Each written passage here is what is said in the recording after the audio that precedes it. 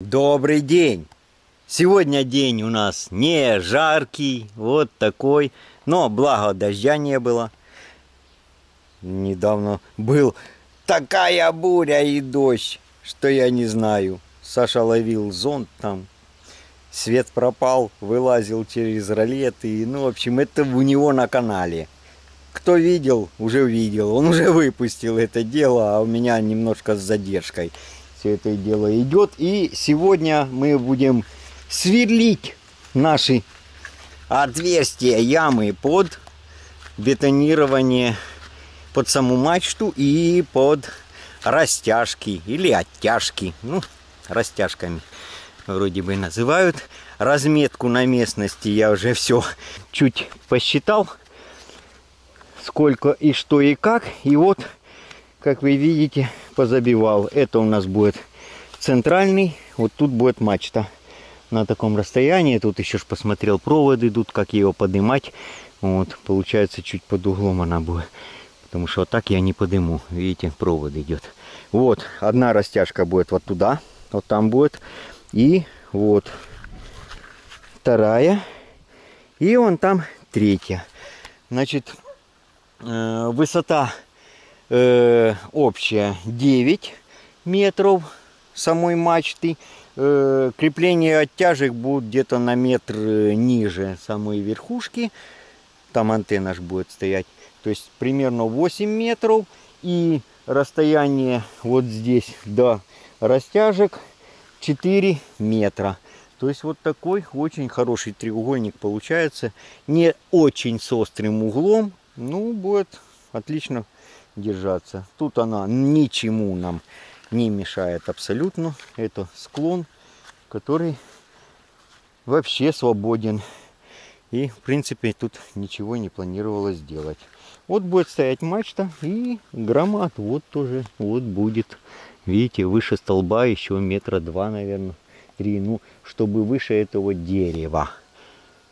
Вот. Оно мешает, потому что направление антенн будет вот туда, как раз буквально на дерево. Тогда, когда делали тест, искали. Ну, если оно дальше подрастет, это наше дерево, я верхушку могу подрезать. Ну, я выше делаю, буквально 2 метра выше этого дерева, так что будет все нормально. И сейчас посверлим, и если дождь не пойдет, я сегодня хочу это дело и забетонировать. Там на трубу все остальные штучки для крепления тросов и всего остального. Площадку на низ не будет, здесь будут закладные, к ним она потом будет привариваться труба. А там будут петельки арматурины выведены с бетонированных столбиков. И здесь я, когда буду заливать, забью туда, в землю, намного ниже, сколько будет лезть арматуру чтобы было как бы заземление. Ну и это все будет, как говорится, единое целое, связано электрически с трубой. Тут приварено будет, там будет штырь, будет отличная грозозащита. Смотрите, вот я стою здесь, я уже на земле, это практически уровень крыши. Даже выше, я уже нахожусь выше уровня крыши второго этажа. Уровень крыши тогда я крышу не увижу. Видите, а сейчас мы видим плоскость крыши у второго этажа. Вот, вот, вот уровень крыши, вот это. А, она, а то уже выше, а еще 9 метров. Так что у нас будет отличная грозозащита. Будет нести двойную, как говорится, полезную цель. Вот здесь сейчас сверлим.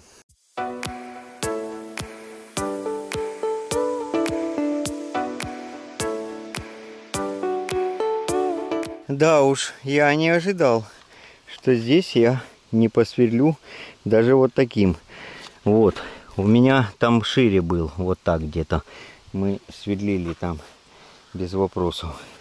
Здесь такой грунт слежавшийся не хочет, не идет сверло. Я даже лом взял и взрыхляю, а потом этим сверлом. Там сверлилось все нормально и под фундамент дома. Ну, дом-то стоял отдельно, а там тоже как бы нетронутое было. Но сверлилось нормально, и мы э, более по диаметру там сверлили, чем здесь. не идет, и все. Такое, как э, песчаник практически. Ну, не песчаник, понятно, не камень.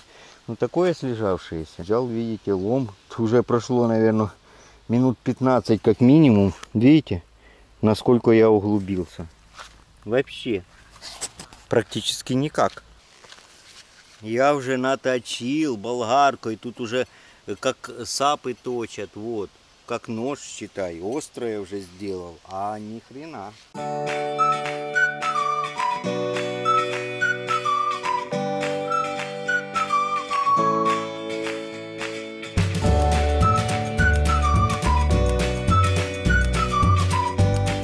Ну, наконец-то я поборол одну ямку. Еще вообще-то три. Это пипец какой-то. Без лома не обошлось. Взрыхляю, потом сверлом выкручиваю. Это фундамент для центральной опоры, можно сказать. Значит, вот получается 40 сантиметров. Вот глубина.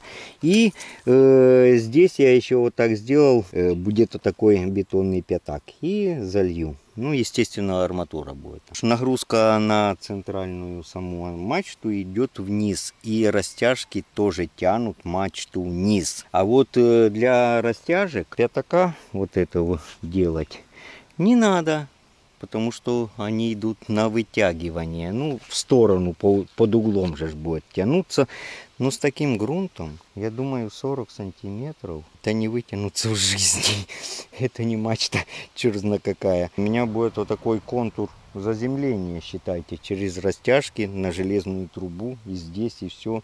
Так что заземление, думаю, будет отлично. Нету прибора, чтобы померять потом сопротивление. Посверлю, потом покажу. Ну что, наконец-то я посверлил все эти ямки. Думал, за полчаса справлюсь. Я потратил где-то часа три или даже больше. Думал, сегодня забетонирую. Бетонировать буду завтра. Вот центральное отверстие и наши вот одна под растяжки вторая. И вот последнюю, только что я ее выкопал, высверлил. Значит, э, та вертикально сверлилась. И там где-то 45 сантиметров. Здесь растяжки будут как бы вытягиваться отсюда. Поэтому эти отверстия сверлятся под углом. Вот. Э, наклон в обратную сторону от стороны мачты. А вот эти я делаю по 50. Вот видите, даже больше. 50 с копейками. И по нижней стороне беру уклона. Так что все, на сегодня вот так. Честно говоря, немножко устал. Сверлением. Не думал. Ну вот так, видите. Планируешь одно, а получается другое. Ну до завтра. Добрый день. Э, идем сами срезать э, деревья. Потому что в РЭС уже раза четыре, наверное, звонил. И никто, зараза, не приехал срезать. И не только же я звонил, и другие. Опять сегодня вырубалось уже. И каждый день буквально коротит, и все. Мы у себя тут обрезали чуть-чуть. Вот, ну, Саша там снимал. А он через дорогу рядом. Полностью провода идут внутри дерева.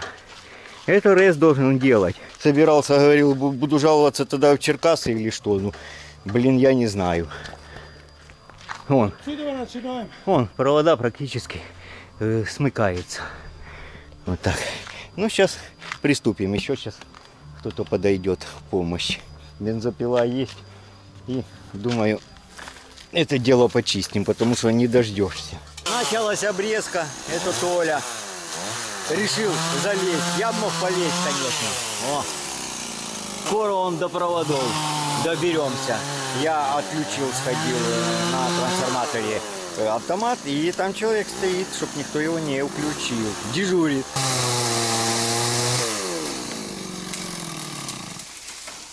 Опа, тут может на голову упасть.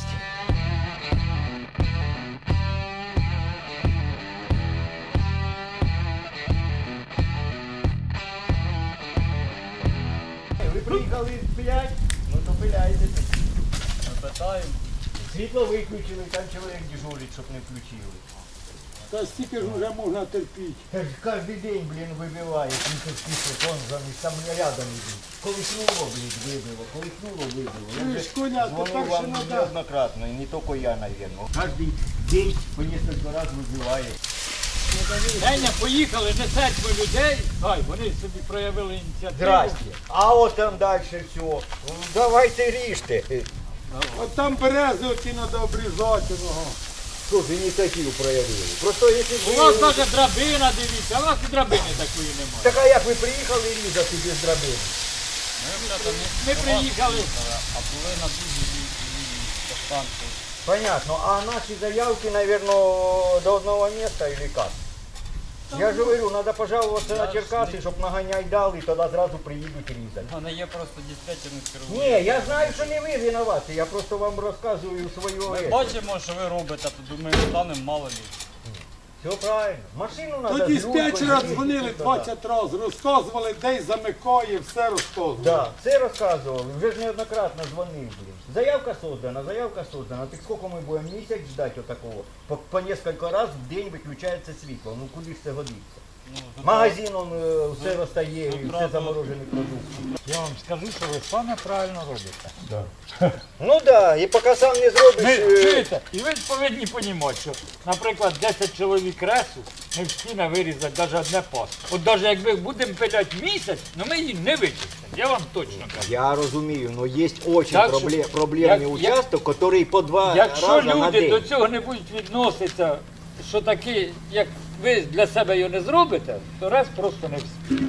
Раніше три бригади, в кожній було по 5 працівників. Зараз по два чоловіки і мастер третій. Та ти не трогайте, а то хай вже так Ніколай. Так вони туди лежать на проводах, зараз вітром воно- гойдне і все. Воно вам оті мішають. Іван Васильович, ти ж електрик, може ти полізеш хоч провода натягнеш, ой, це юно. Так, то може не так, може третю принести. Ну, ну, що?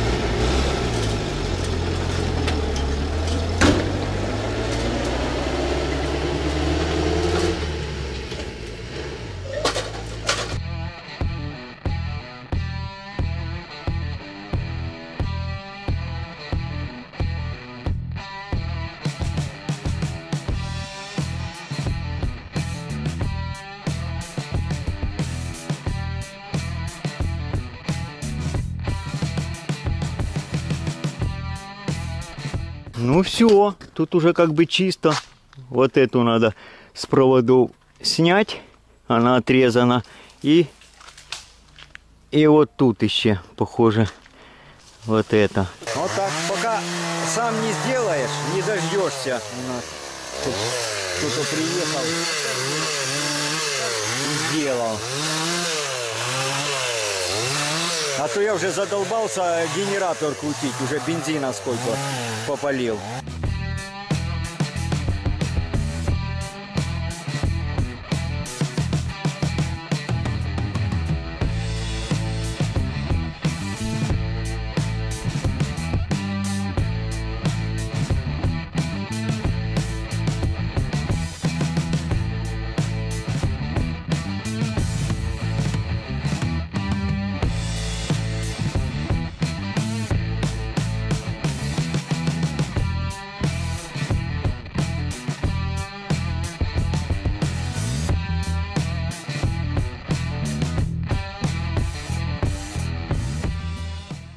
Все, линию сделали чистую практически. Ну, чуть повозились. Так что, как будто на полставки э, в рейсе работаю, да? Дальше меня ждет бетонирование столбиков. Ну и не забывайте о компании «Авалон».